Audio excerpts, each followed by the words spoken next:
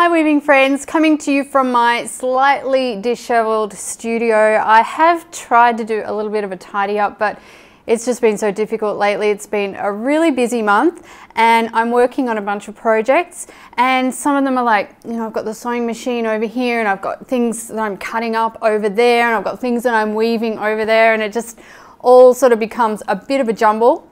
But I guess a creative mess is a good mess because it means that things are happening.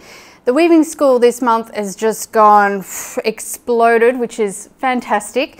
And thank you to anyone who has signed up for a membership or bought a class this month. It's so good to see so many people learning to weave or improving on their own weaving journeys. Such good stuff. So today we're going to talk a little bit about fringes and I'm going to show you a couple of examples of fringes, what you might do with fringes on different occasions for different projects. But the main question and the main part of this tutorial is to show you what to do with a fringe when you actually don't want the fringe to be there. Yes, believe it or not, there are people out there who are just not fans of fringes. And although I'm a little, little bit of a fringe fan myself, I can understand that there are times when you just don't want that fringe for all kinds of reasons. We're going to talk about some of those reasons today too. So I'm going to show you some of my past projects, the fringe treatments that I've done with them, and then I'm going to show you what I do to a fringe that I don't want anymore. But here's the important part for people who don't have a sewing machine because not everyone has a sewing machine and can just go ahead and hem that fringe. And you don't always want a hem on your piece anyway. Okay, so let's get into the first piece. Okay, so before I show you the first piece, I am going to be mentioning a lot of projects, tools, etc. today. Anything that I mention in the video, I will try to leave a link to it down below if you are interested in it and you want to do some further research. So all the links will be underneath and if you can't see them, you can click on more and the menu will drop down and you'll be able to see all of the links that I've put there for you. So the first project is one of my earlier weaving projects actually. Um, one that I'm still very pleased with. I think it's really lovely. I think I might have shown this before in another video, but you know, after the 200th or so video, I think I've got 270 or something now, the mind gets a little foggy. So this one I hand dyed the yarn for both the warp and the weft. So for the warp I did a mostly pink colour and for the weft I did the same kind of pink with some greens incorporated as well. But what I mainly wanted to show you about this scarf was that for the fringe treatment, I did just a simple series of knots after I had taken the scarf off the loom. There was no hem stitch on this piece and the knots have held absolutely fine. And I also didn't finish the fringe in any way apart from just trimming it um, and then leaving it. So that's one of the most basic fringe treatments you can get really for when you do want to leave the fringe on. Here's a little tip for you. Any fringe treatments that you do, do them when the piece is off the loom before you go to the wet finishing process because as you know wet finishing sets the threads or the yarns in place and it's so much better to do all of the finishing before you actually wet finish, apart from cutting off um, weft tails afterwards. You do that after it's dry. And this is also a little bit of a form of insurance because some yarns, once you wet finish them, um, particularly if you've used maybe a couple of different yarns in your warp, they might spring up, they might tangle, they might become really ratty. So yeah, that's a good tip to do all your fringe treatments before the wet finish. The next project I have to show you is my heart scarf. This was my free project for last year. You'll find the project here on my YouTube channel. You'll also find it on my blog.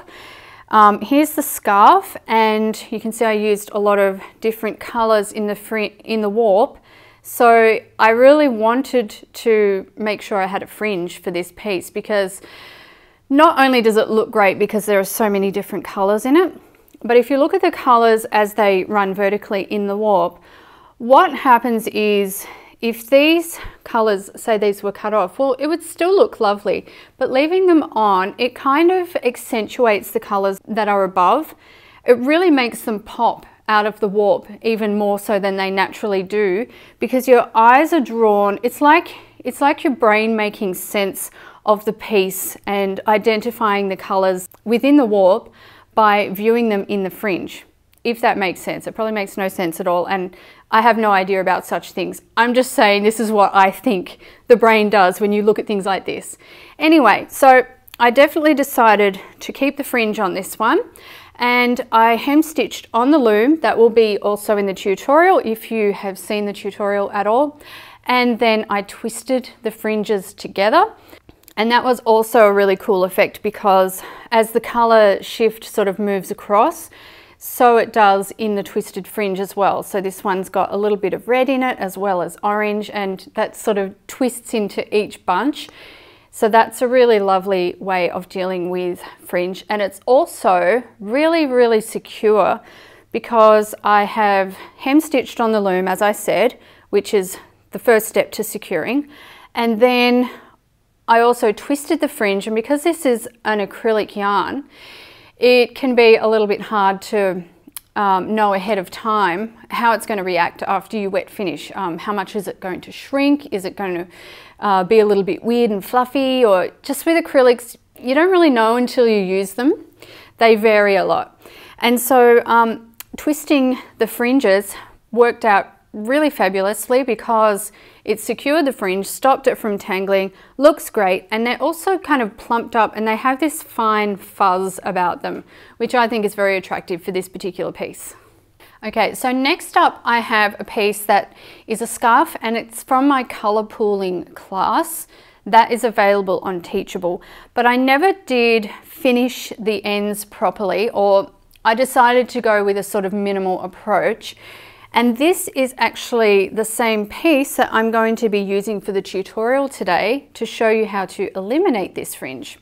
So the first thing that I did was I hem stitched this on the loom. This is all hand dyed cotton. The idea of the colour pooling scarf is that you arrange the colours in a certain way or if you want to dye it yourself, which I also show in the class, dye it, not diet, um, you it shows you how to dye in specific sections so that you have the colours running in a certain way to give certain colour effects. That's what the class is all about. Anyway, back to the fringe. So I did hem stitch these little fringe bunches on the loom, but once off the loom, I just left them plain. I quite liked that sort of waterfall effect and the, and the, the gradual colour changes as you come down the fringe. But I'm not so attached to this fringe and so I'm going to use it because it's basically the perfect piece for showing you how to go fringeless on a piece like this. So we're going to come back to this. Okay, another type of hem, and this is one that I use a lot, is your typical machine hem. And also you can do this kind of hem by hand as well. It's just a little bit different. I have resources for hemming hand wovens and I'll leave them linked down below. But this one is a regular machine hem. Um, it's a double fold hem, so fold the first edge over, fold the second edge over, then sew. And it gives, as you can see, a very neat professional kind of finish. And depending on your piece, you may end up with some really interesting color effects. If your piece is different on each side, then um, the hem turned over will be quite attractive as well.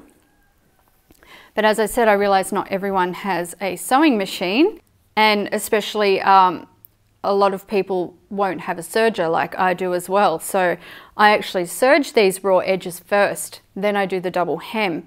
You do not have to have a serger, absolutely not.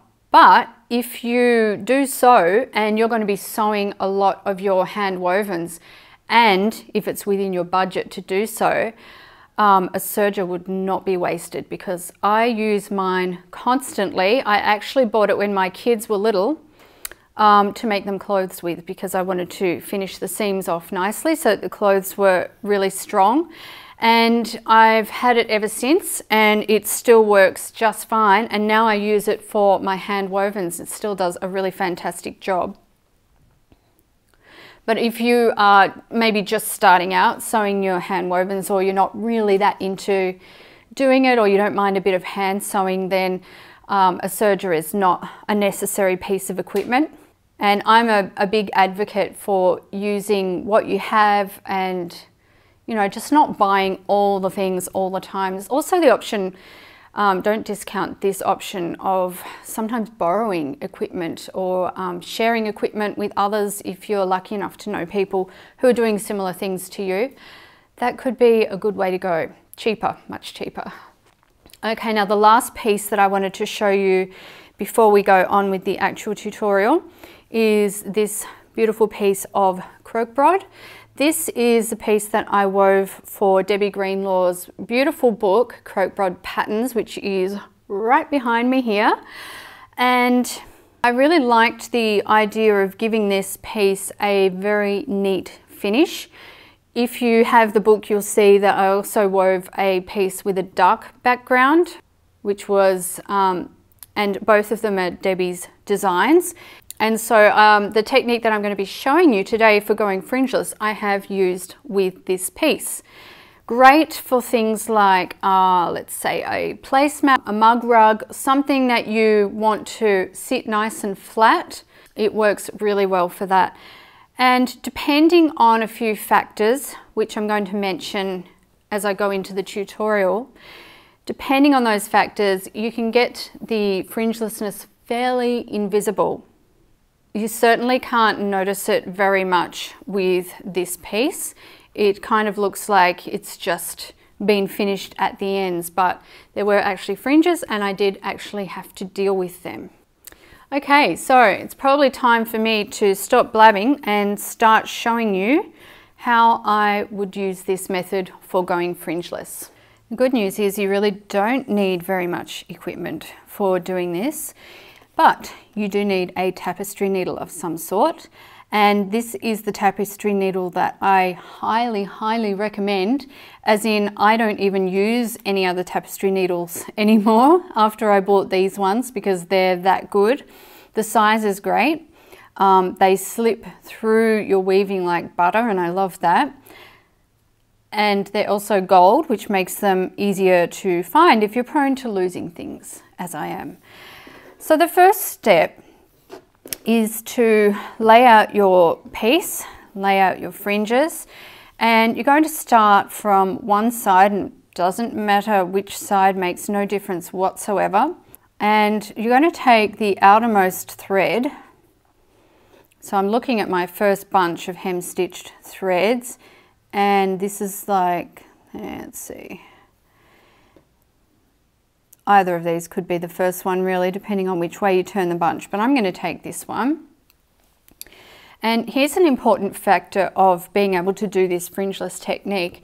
Your fringes do need to be a certain length. So if you've already cut your fringes really short off the loom, you're not going to be able to do this because you have to have enough thread to thread up in the needle and then to be able to sew it into the piece, up the piece. I'm, I'm not going to give any specific length for how long it needs to be. These fringes are pretty long, so I have no worries here, but it is better to have them a little bit longer than a little bit shorter, just so you have that extra leeway with it.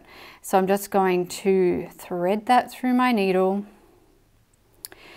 And then I'm going to come over here and I want to go into the back.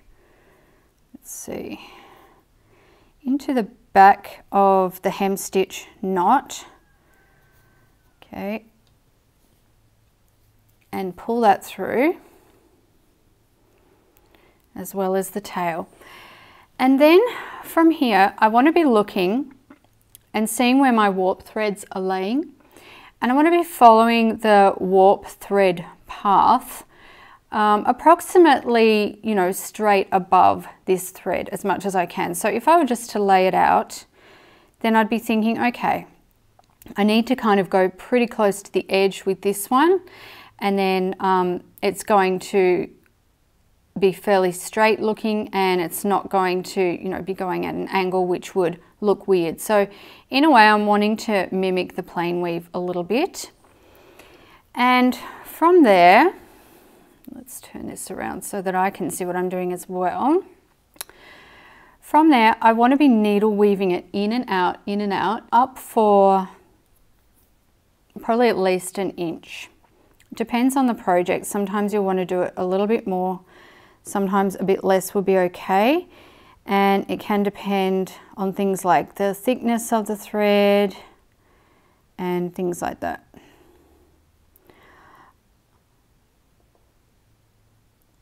I'm just needle weaving in uh, fairly similar to how I would needle weave ends in that were like loose ends, weft tails or whatever left over at the end. Now there are a couple of things that I should mention about the fringe type while I'm doing this. If your fringe pieces, your yarn is really thick, like say it's um, an art yarn or a bulky yarn or whatever it is, then it's probably not going to work so well for this technique because it's going to be really visible, probably not so attractive. And if you're using a really thick yarn like that anyway, you probably want to be showcasing that as a fringe.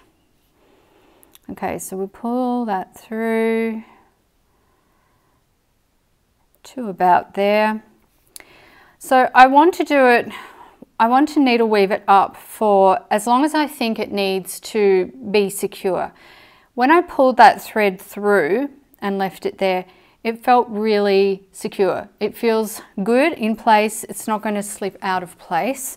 So let me actually measure that for you. I did say an inch before, but I'm not most the most brilliant person when it comes to estimating distances. So I will check because I know that some of you would like to know. Oh, would you look at that? It's very close to an inch. It's just past an inch. So yes, it might depend on your project a little bit as to how far up you go. And once you've got that in place, you just leave that tail in there for now. We're not going to leave it in there permanently, but just for now. All right. So as I said before, we would be doing this prior to the wet finishing. This scarf has been wet, wet finished because it was a finished project, but I've brought it back for the purposes of this tutorial. So yours would not be wet finished. So I'm going to the very next thread, warp thread that's available, and I'm doing the same thing. I'm going up into that first knot. I'm sorry if it's difficult for you to see, it's a little bit difficult for me to get into this knot and try and have my hands out of the way at the same time. Um, the reason I like to go into the knot is just because it's the threads are so close together in there. It's a really good way to secure the yarn at the very beginning. Okay, so now I'm going to do the same thing, but I'm looking for a, a different path. I don't want to go the same path that the last yarn went because that would be too obvious, right? So I'm going to go in next to it, but hopefully in a place where it's not as obvious. Um, and for this one, I'm going to actually follow the opposite stitches. So by that I mean for the last the last thread you can see um, these are the weft stitches that went underneath. So I'm going to do the opposing weft stitches for this one to mix it up and make it stand out less.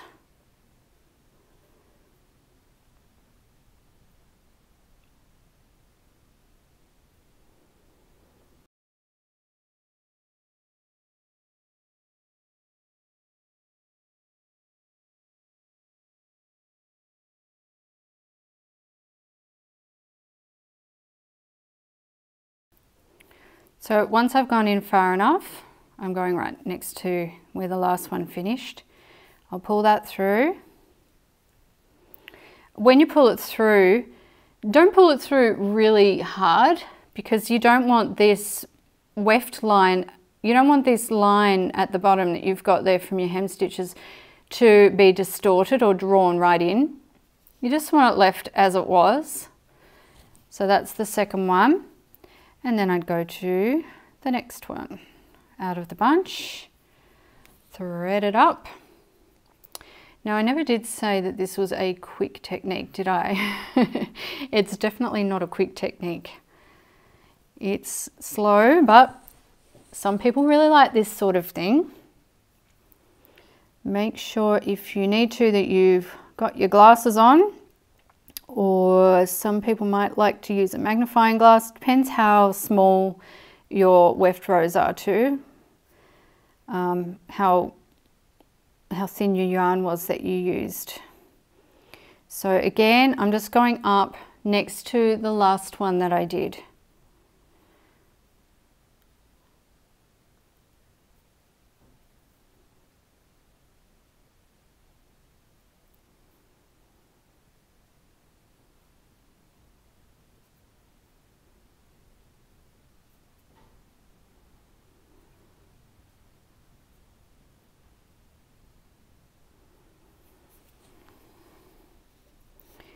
I'll pull that through. And pull the tail through. And then it's done. Now uh, for some projects when I'm using this technique, say for example when I did this one, I might have threaded more than one thread at a time just to save a little bit of time. But that was a thinner warp thread and also for this style of weaving, because it's weft faced, it really buries those warp fringe ends very, very well. So I could afford to do more than one at once. But for this one, I want to be more careful about my placement. I want to know, you know, that the threads are going to look okay, that they're not going to stand out as looking really weird. And so I don't want that bulk of two threads running side by side um, in exactly the same way because then that would be quite obvious. While you're stitching or needle weaving, um, turn it over a few times too and check on the other side that everything's looking fine on that side. And if it is, just keep going. So grab the next one and thread that up. And we'll get a little bit of a closer look in this time for those who need that. So to start with, we will take that thread into the hem stitch knot right there. And then I'll just pull that through to make that more simple. And then, actually I'm going to take that through again because it's not as secure as it could be. Uh, and then I'm looking at where my last fringe thread went up. So that was it there, going along there.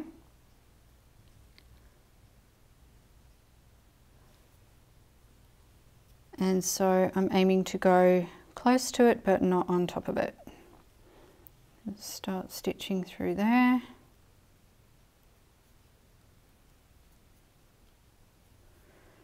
And yep it's that one's running along there so can be a bit hard to see sometimes which is actually a good thing. If it's hard to see where your last thread went up then that means you're doing a good job of weaving it in um, and making it kind of camouflage.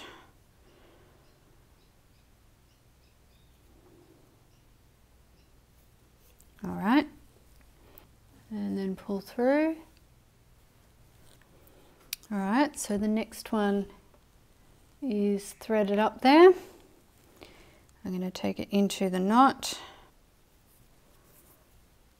and then look at where my last thread went and I can see it running right along there. It comes out there.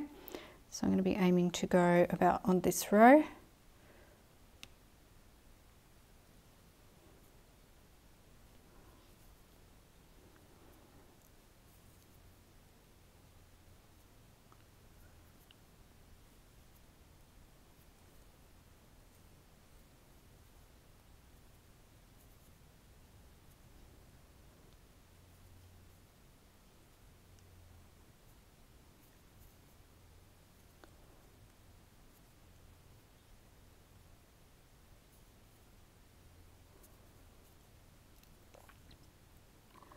I've heard from a lot of weavers, um, especially saying that their husband would really like a scarf, but he didn't like the idea of having a fringe. So this would be great in that kind of circumstance. Pull through, not too much, and grab the next thread. So we're going to keep going like that and keep going until all of those threads are done and then I'm going to show you what to do with all of those tails. I've done the first section there and I want to mention a couple of things before I show you what we do with the warp tails that are left over. Um, the first thing is that it can be, it can get a bit squishy trying to get all of these warp threads in. And sometimes you will double up with another warp thread. You can kind of see there that I've doubled up with another one. And you just need to sort of go with that because you're a little bit squashed for space and it's still going to look really good. So just do what you can if you're starting to feel a little bit squishy and don't worry too much if you get some doubled up ones. The other thing is the edging down here, you'll see because of the hem stitching, it has this kind of bobbly edge. I quite like that. Um, I think that looks nice. It's almost like a little crochet finished on the edge. If you find that your little bobbles are a little bit uneven, you can adjust that by going to the threads above that you've woven in. So say for example, I think this one's sticking out a little bit too much. I can come up to the threads that I actually wove through that and pull on them just lightly and it just slightly adjusts that bobble. And this is one reason that I say don't pull the threads in too firmly when you initially put them in because then you can come back afterwards and adjust them a little bit if you want to. If that edge is bothering you or if, you know, if one part is sticking out more than the others and you feel like you need to adjust that. All right, so I already mentioned that you would be wet finishing this first once you've done the whole fringe wet finish the piece, leave these tails in place and then when it's completely dry, these tails are going to be nicely settled into the fabric.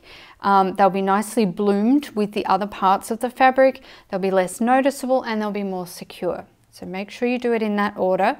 And then once they're completely dry, you can just come in with a nice sharp pair of scissors. And uh, admittedly, my scissors could do with a bit of a sharpening at the moment. And then you're just going to carefully cut them close to the fabric, but not so close that you snip your actual fabric. And you're just going to cut them away. Uh, one by one. Just trying to separate those two.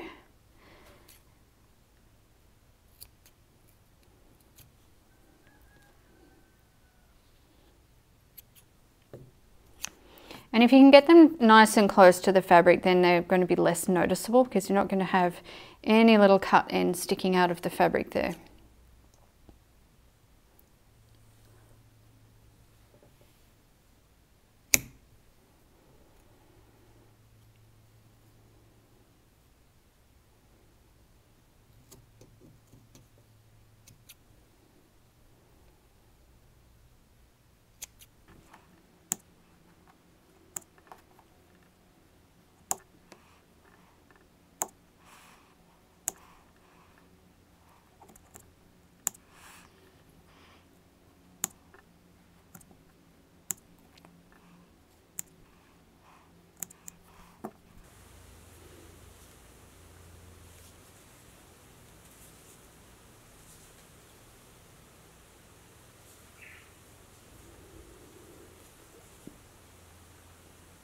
I hope you enjoyed this video. I apologize for some of the filming quality. I've been battling the sun coming in and out, in and out so rapidly. It's just that kind of day in here. So I hope it turned out okay for you. If you have any questions, leave them down below. And until next time, happy weaving.